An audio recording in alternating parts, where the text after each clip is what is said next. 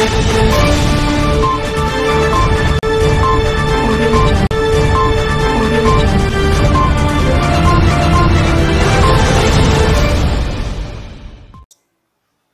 जोहार, आदिवासी हुंकार में आपका स्वागत है। मैं ग्लैडसन गुंजू आज मैं सुप्रीम कोर्ट के द्वारा आरक्षण को लेकर दिए गए फैसले के बारे में आपसे बात करना चाहता हूँ। 10 फरवरी को आपने देखा होगा, अखबारों में यह मसला सुर्खी बना रहा। कई जगह पर चर्चा भी हुआ। लोकसभा में भी इसको लेकर हंगामा हुआ। तो हमें यह समझना बहुत ज़रूरी है कि सुप्रीम कोर्ट का जो फैसला आया है, उसका परिणाम क्या होगा?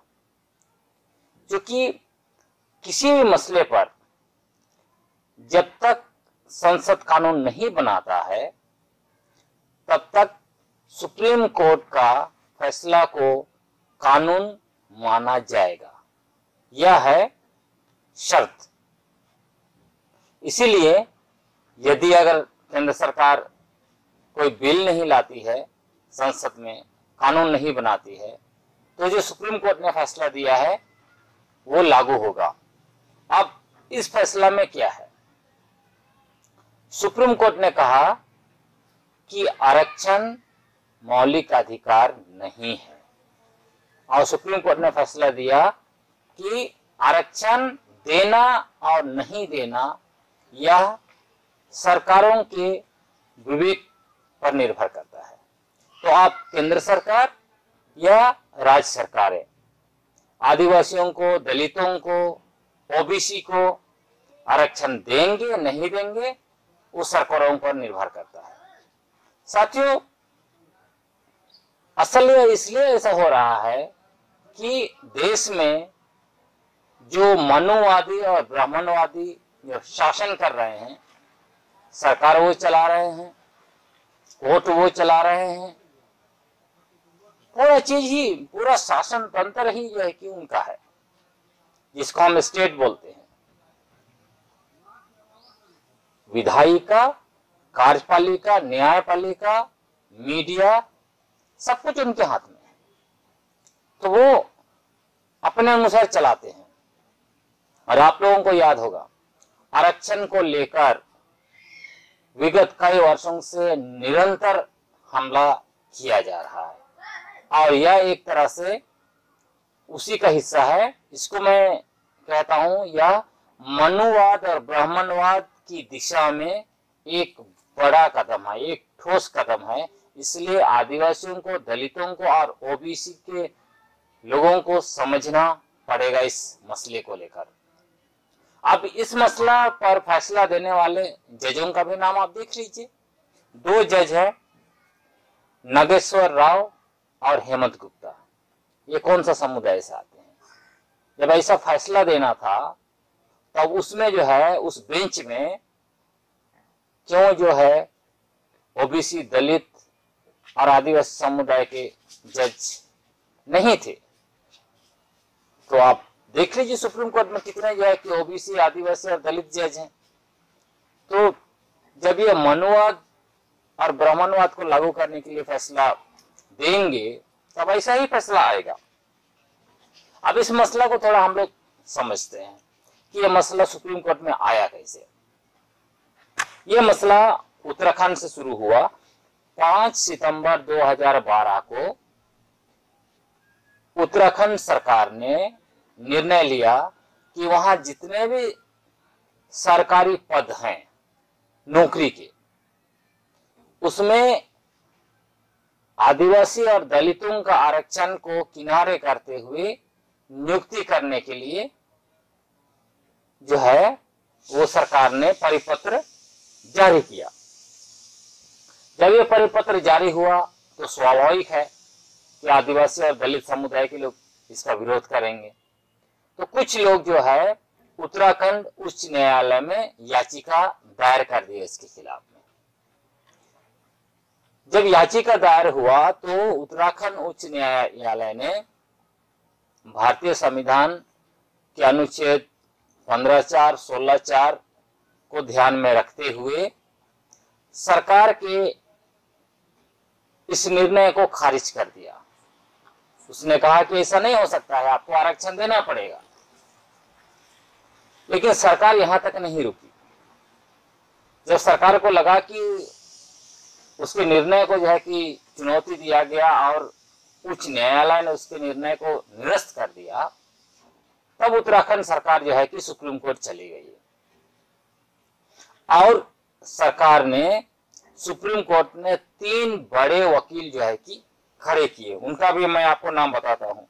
मुकुल रोहतागी पीएस नरसिम्हा और रंजीत कुमार। इन लोगों ने उत्तराखंड सरकार का पक्ष सुप्रीम कोर्ट में रखा और अंत सुप्रीम कोर्ट के दो बेंच वाले खंडपीठ ने इस मसला को उत्तराखंड उच्च न्यायालय के निर्णय को खारिज करते हुए सीधा बोल दिया कि आरक्षण मौलिक अधिकार नहीं है। यह आरक्षण पर एक तरह से बहुत बड़ा हमला है। अब इसमें यह भी हमें देखना चाहिए। आप लोगों ने देखा होगा कि राहुल गांधी ने कहा कि भाजपा सरकार जो है, असल में दलितों को, आदिवासियों को आरक्षण देना ही नहीं चाहती, वो आरक्षण को खत्म करना चाहते हैं। यह सही है, लेकिन यह भी समझना पड़ेगा हमें कि इसमें जो है कि ना सिर्फ़ भाजपा, बल्कि कांग्रेस और भाजपा दोनों की मिली भगत है। जब उत्तराखंड सरकार ने निर्णय लिया था 5 सितंबर 2012 को, उस समय में उत्तराखंड में किसकी सरकार थी? उस समय में उत्तराखंड में कांग्रेस की सरकार थी। तो इसको क्या कहेंगे? और जब यह मसला उच्च न्यायालय में चला गया और सरकार के निर्णय को खारिज कर दिया गया तो इस मसला को चुनौती किसने दिया? उत्तराखंड की भाजपा सरकार ने। और भाजपा सरकार ने तीन बड़े वकील जिनका नाम मैंने बताया, उनको आरक्षण के विरोध में सुप्रीम कोर्ट में खड़ा किया। अब ये देखिए कि केंद्र में भाजपा की सरकार है, उत्तराखंड में भाजपा की सरकार है। पहले जो निर्णय लिया, वो उत्तराखंड, कांग्रेस की राज्य सरकार थी। तो मैं मिली भगत इसलिए कह रहा हूँ कि देखिए, ये निर्णय इसलिए ऐसा लिया गया उत्तराखंड सरकार से लेके सुप्रीम कोर्ट तक, क्योंकि वहाँ जो बैठे हुए थे निर्णय लेने वाले, वो सारे के सारे मनुवादी और ब्राह्मणवादी लोग हैं।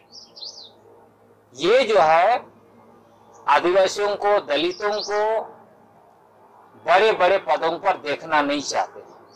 आज आदिवासी जो है, डॉक्टर बन रहे, इंजीनियर बन रहे हैं आईएएस एस बन रहे, मंत्री बन रहे हैं, ये इनको जो है कि ये डाइजेस्ट नहीं कर पा रहे हैं। तो ये चाहते हैं कि जिस तरह से मनु ने मनुवाद बनाया, मनुस्मृति लिखा चार वर्णों को जो है कि उसने उसकी रचना की, जिसमें आदिवासी और दलितों को ओबीसी को शूद्र कहा गया।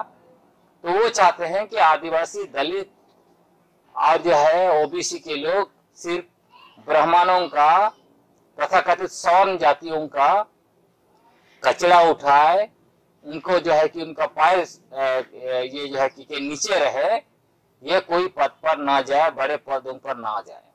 और इसी षड्यंत्र का इनको मालूम है। कि आरक्षण की वजह से ही आज जो है दलित, आदिवासी और ओबीसी के लोग बड़े बड़े पदों पर जा रहे हैं। अब सोचिए, आज भी देश के लगभग हर एक विभाग में आप चले जाइए। सत्तर प्रतिशत पदों पर तथा कथित सवर्ण लोग ही बैठे हुए हैं। न सिर्फ़ सरकारी पदों पर, आप मंत्रिमंडल में चले जाइए। भारत सरकार का मंत्रिमंडल उठा के देख लीजिए। राज्य सरकारों का मंत्रिमंडल उठा के देख लीजिए। आप जो है, झारखंड जैसा तो एक्सेप्शनल है, लेकिन ये झारखंड जैसा एक अपवाद मान सकते हैं। लेकिन झारखंड का भी हाईकोर्ट अब चले जाइए कौन लोग बैठे हुए हैं? मीडिया में पूरा कौन लोग बैठे हुए हैं? I S I P S आप चले जाइए। इंजीनियरिंग सेक्टर में आप चले जाइए। बिज़नेस में चले जाइए। सारे जगह पे लगभग सत्तर प्रतिशत बड़ी पद जो है स्वर्णों के पास है। लेकिन अभी भी ये डाइजेस्ट नहीं कर पा रहे हैं। लगभग 20 से 30 प्रतिशत पद जो है कि आदिवासी दलित और ओबीसी के पास है बड़े पद, वो वहाँ पे वो देखना नहीं चाहते हैं। यही कारण है, ये चाहते हैं कि देश में आरक्षण खत्म हो जाए और यह सरकार का सहारा नहीं ले सकते। उनको लगता है सरकार अगर ऐसा कोई कानून बनाएगी तो आरक्षण हटाएगी तो पूरे देश में जो है कि हलचल मच जाएगा। तो ये कोर्ट का सहारा ले रहे हैं। अब यहाँ मौलिक प्रश्न यह है, क्या आरक्षण मौलिक अधिकार नहीं है? अब देखिए, आरक्षण जो है, कहाँ से आया? संविधान सभा का बहस उठा के देख लीजिए। जब संविधान सभा में बहस चल रही थी तब किसको लेके बहस बहस चल रही थी? बहस इसीलिए आरक्षण पर आया क्योंकि ये मनुवादी लोग, आदिवासियों को, दलित को, ओबीसी को कहीं भी प्रतिनिधित्व नहीं देना चाहते थे। इसीलिए बहस चला और आरक्षण आया तो वो मूल रूप से इसलिए आया कि आदिवासी और दलित, ओबीसी का मसला बाद में आया। लेकिन आदिवासी और दलित समुदाय के लोगों को प्रतिनिधित्व दिया जाए। कहा प्रतिनिधित्व दिया जाए? सरकारी नौकरी में, विधानसभाओं में, लोकसभाओं में। और इसीलिए आरक्षण को जो है, संविधान का अनुच्छेद पंद्रह चार और सोलह चार के तहत लाया गया। और यहाँ पे किसकी बात की गई यहाँ यही बात किया गया कि जो वंचित तबका है जिनको जो है कि दबे कुचले तबके हैं, उनको जो है प्रतिनिधित्व दिया जाए।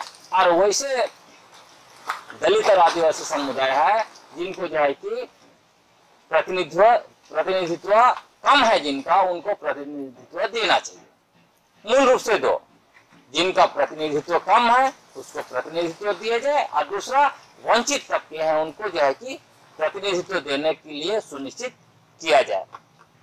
अब हास्यास्पद बात यह है कि संविधान का अनुच्छेद पंद्रह और सोलह कहाँ पे रखा गया है? संविधान का भाग तीन। भाग तीन क्या है? मौलिक अधिकार। जब ये दोनों अनुच्छेद जो है, वो मौलिक अधिकार में रखा गया है, उसके बावजूद सुप्रीम कोर्ट के दो जज सोचिए न्यायमूर्ति कहले कहे जाते हैं। दो न्यायमूर्ति ये कह रहे हैं कि आरक्षण जो है कि मौलिक अधिकार नहीं है। तो फिर वो आरक्षण जो है, संविधान का अनुच्छेद पंद्रह चार और सोलह चार मौलिक अधिकार में क्यों रखा गया है भाई?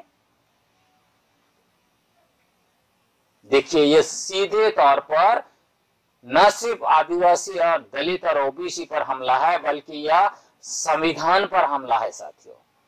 ये निरंतर संविधान पर हमला कर रहे हैं।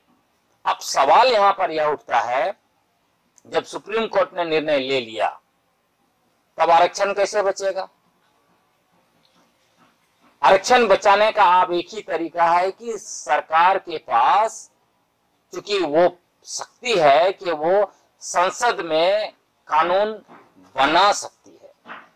यदि केंद्र सरकार संसद में कानून लाती है, जिस तरह से जब S C S T atrocity act पर सुप्रीम कोर्ट ने निर्णय लिया, तब पूरे देश में हंगामा हुआ, भारत बंद किया गया, तब केंद्र सरकार मजबूर होकर उसने कानून बनाया।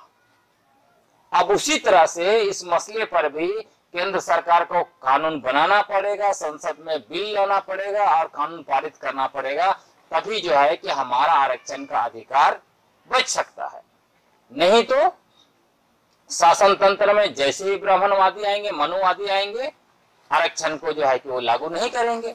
अभी भी देखिए कि बहुत सारा आरक्षण का सीट खाली हो जाता है। क्यों हो जाता है कि ये जानबूझ के जो आदिवासी और दलित कैंडिडेट पास भी होते हैं तो उसको वो लोग फेल कर देते हैं नंबर कम दे देते हैं। ऐसे बहुत सारे मसले आए हैं देश में। क्योंकि ये चाहते हैं कि जैसे भी करके आदिवासी दलित और ओबीसी के लोगों को नीचे रखो। सवर्णों के पैर के नीचे होना चाहिए। तो ये जो कहते हैं, ब्राह्मणवादी लोग, मनुवादी लोग, कि हम सभी लोग दलित, आदिवासी, ओबीसी, सब लोग हिंदू हैं, लेकिन दूसरी तरफ़ देखिए, वही सवर्ण हिंदू लोग, आदिवासी दलित और ओबीसी का जो है कि हक मारी में जो है कि कहीं भी वो नहीं चुकते हैं। यही दलित और खासकर आदिवासियों को समझना पड़ेगा। क्योंकि आज भी दलित और आदिवासी लोग सवर्णों के, मनोवादियों के, ब्राह्मणवादियों के मानसिक गुलामी का शिकार हो रहे हैं। उनका जो है कि झंडा ढो रहे हैं। इसलिए आज जागने का समय आ गया है। अभी अगर आप नहीं जागेंगे तो जो है कि एक समय ऐसा आएगा जब भारत का संविधान जो है, उसी को खत्म कर दिया जाएगा और भारत में मनुवाद को लागू कर दिया जाएगा। और जिस दिन मनुवाद को लागू कर दिया गया, साथियों दलित और आदिवासी और ओबीसी को कुछ नहीं मिलने वाला है। आज जो है, स्वर्णों का मैला ढोना पड़ेगा, उनका कचरा ढोना पड़ेगा, नौकर और दाई बनकर रहना पड़ेगा। इसलिए मेरा निवेदन है कि जितना ज़्यादा इस संदेश को फैलाइए और हर जगह पर इसका प्रतिकार होना चाहिए, ताकि केंद्र सरकार मजबूर होकर जो है कि आरक्षण को बचाने के लिए हमारा जो संवैधानिक अधिकार संविधान के अनुच्छेद पंद्रह चार और सोलह चार में जो अधिकार दिया गया है उसको बचाने के लिए कानून बनाए। यदि कानून नहीं बनाते हैं तो हमारा अधिकार खत्म हो जाएगा। ये इसी का एक्सटेंशन है संविधान के अनुच्छेद 330, 332 और 335 जिसमें संसद में, विधानसभाओं में और नौकरी में आदिवासी और दलितों को आरक्षण दिया गया है। इसलिए साथी, आप सभी लोगों को यह समझना पड़ेगा, आरक्षण हमारा मौलिक अधिकार है, जिस पर मनुवादी, ब्राह्मणवादी सुप्रीम कोर्ट के द्वारा हमला कर रहे हैं, सरकार के द्वारा भी हमला कर, करेंगे, चारों तरफ़ से वो हमला कर सकते हैं। इसलिए सरकार को हमें मजबूर करना पड़ेगा। अगर आपने मजबूर नहीं किया तो यह सरकार कुछ भी नहीं करेगी, क्योंकि यह सरकार मनुवादियों की सरकार है। क्योंकि सरकार सीधा जो है कि कानून नहीं बना सकती थी आरक्षण के खिलाफ, या फिर आरक्षण को खारिज नहीं कर सकती थी संविधान से, इसीलिए इन्होंने सुप्रीम कोर्ट के द्वारा ऐसा करवाया है। इसलिए आज जागने का समय है। आदिवासियों को, दलितों को और ओबीसी समुदाय के लोगों को जागना पड़ेगा, आप नहीं जागेंगे तो आने वाले समय में सारा कुछ गंवा बैठेंगे। हमारे पास कोई भी संवैधानिक अधिकार नहीं रहेगा, संविधान खारिज कर दिया जाएगा, और जो है कि देश में मनोवाद, ब्राह्मणवाद को लागू किया जाएगा। आज के लिए इतना ही। बहुत बहुत धन्यवाद। जोहार।